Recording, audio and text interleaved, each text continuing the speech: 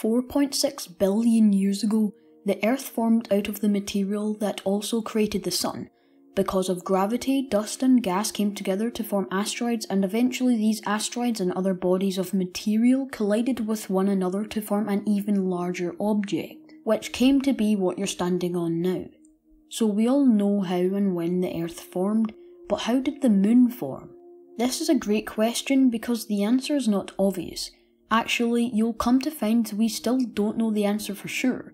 It's not an asteroid like so many of the other moons in the solar system, such as Deimos and Phobos, the two Martian moons, that most likely were asteroids that were captured by the Martian gravity. There are four main theories to explain how the moon got to where it is today. Three of them have reasons why they couldn't have happened, but one of them is the most widely accepted today. Each theory has to naturally explain the following three facts.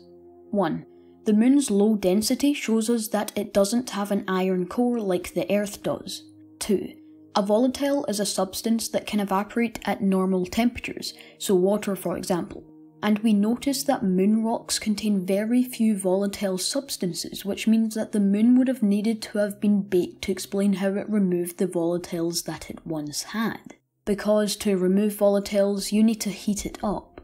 And it would have only been the moon that was baked, because if the Earth was baked as well, then it would have removed the volatiles, so Earth wouldn't have water and no life would have formed.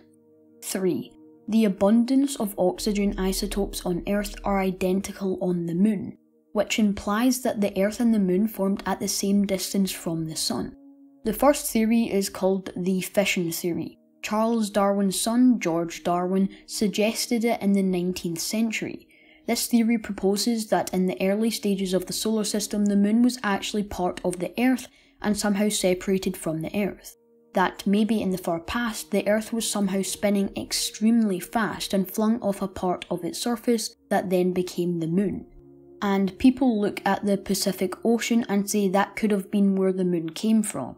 This theory seems plausible since the Moon's composition is very similar to the Earth's mantle. However, the main problem against the fission theory is that it doesn't explain how the Moon's material received that extra baking. In other words, it doesn't explain how the moon got rid of the volatiles. We talked about this earlier. Next one up is the capture theory. This one is much simpler. This theory proposes that the moon was created somewhere else, whether it be somewhere else in the solar system or somewhere else in the Milky Way, or some other place. And as the name suggests, this theory proposes that the moon was captured by Earth's gravitational pull. If this theory is correct, then it would be practically impossible for us to track where the moon came from. But this theory could explain the moon's different chemical composition if it did form somewhere else in the solar system. However, this theory is highly improbable, because the moon would have to be moving really slowly in order for Earth's gravity to be able to capture it. For the moon to move that slowly, there would have needed to be a third celestial object also pulling on the moon, slowing it down just enough, and well, we don't see this third object. Also, like the fission theory, this theory doesn't naturally explain how the moon received that extra baking. So, the next theory is the condensation theory. This says that the Earth and the Moon were created very near each other and out of the same material, and so, because they were near each other, the moon will obviously orbit the Earth. The problem with this theory is that if they were both created out of the same material, then they should both have the same composition. In other words, the moon should also have an iron core like the Earth does, but well, it doesn't. Also, like the fission theory and the capture theory, the condensation theory doesn't naturally explain how the moon received that extra baking. So these three theories I've just talked about didn't satisfy the astronomical community and none of them provide an explanation that complements or explains all the facts that I talked about earlier. But then a much more promising theory was thought of, named the giant impact theory.